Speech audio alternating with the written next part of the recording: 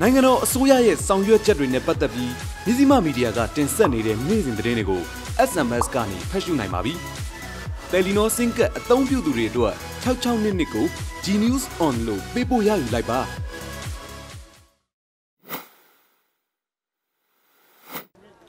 အမျိုးသားဒီမိုကရေစီအဖွဲ့ချုပ်မှတိုင်းဒေသကြီးပါတီအဖွဲ့ဝင်များတွဲဆုံပွဲတစ်ခုကို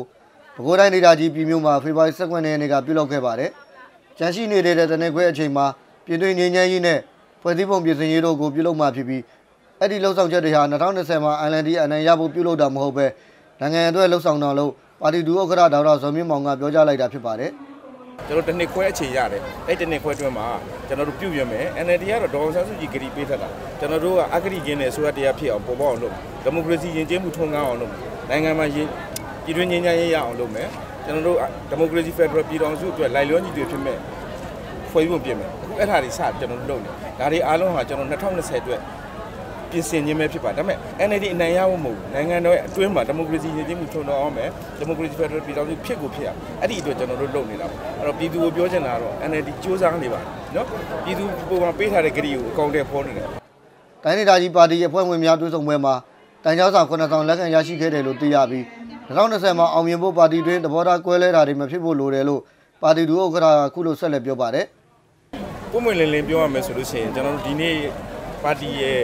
လွတ်တော်ရဲ့အစိုးရရဲ့တွေ့တာပေါ့နော်ပါတီအစဉ်စဉ်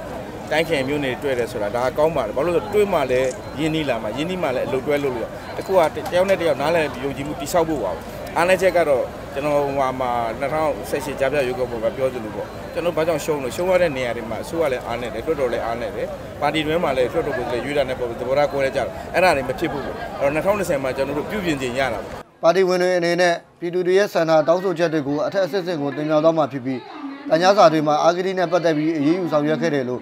ပြည်မျိုးနဲ့ပြည်သူ့လွှတ်တော်ကိုယ်စားလှယ်တဦးကပြောပါတယ် ကျမတို့အခု၃နှစ်ကျော်ကာလရောက်လာတဲ့အခါပေါ့နော်အစိုးရအဖွဲ့ရဲ့အကောင့်အထည်ဟော်မှုတွေကိုပြည်သူဘက်ကကြည့်လို့ရှိရင်အားမလို့အားမရဖြစ်တာလေးတွေတော့ရှိပါတယ်ဒါပေမဲ့ကျမတို့တိုင်းအစိုးရအဖွဲ့သူလှုပ်တင်တာကိုလှုပ်တဲ့အခါမှာတော့ delay ဖြစ်တဲ့အပိုင်းတွေတော့ဒါပြည်သူတွေတီးပြီးသားဖြစ်တဲ့အတိုင်းဒါလေးတွေတော့ရှိပါတယ်သို့တော်လည်းအာဂတိတော့ဟောကင်းပါတယ်ဒါကျမဒီလိုလေးတော့ပြောချင်ပါတယ်အစိုးရအဖွဲ့ကဒါနဲ့နောက်အာဂတိရှိခဲ့တယ်လို့ဒါ တက်တည်ရှိခဲ့ရင်လည်းဒါရှေ့မှာဒါတွေကိုအလုတ်တာဝန်ကနေရပ်နာပြီးတော့ဒါကျမတို့ပါတီကနေပြီးတော့အရေးယူပြီးတော့မှအစားထိုးဆောင်ရွက်သွားတာလည်းအားလုံးအမြင်ပဲဖြစ်ပါတယ်ဒါကြောင့်မလို့အစိုးရအဖွဲ့ဒီနှင်းနေတာလေးတွေကိုကျမတို့ကကိုယ်စားလှယ်တွေကပြည်သူအတန်နဲ့တိုက်တွန်းမယ်ဒါနောက်ကနေတွန်းအားပေးမယ်ကျမတို့ပူပေါင်းဆောင်မယ်ဒီတွဲဆောင်ပွဲကိုပြည်မျိုးရွှေနာအနောက်ပေါက်လန်တီးခိတရာခမ်းမမှာပြုလုပ်တာဖြစ်ပြီးပါတီဒူဥက္ကဋ္ဌဒေါက်တာဇော်မြင့်မောင်ဗဟိုတိုင်းဝန်ကြီးချုပ်ဗဟိုတိုင်းလွှတ်တော်ဥက္ကဋ္ဌတိုင်းဒေသကြီးဝန်ကြီးများလွှတ်တော်ကိုယ်စားလှယ်တွေနဲ့ တိုင်းခရိုင်မျိုးနယ်ပါတီဝင်တွေတက်ရောက်ခဲ့ပါတယ်ကျွန်တော်ဒင်းတော်ဟန်ဒူစောပါခင်ဗျာ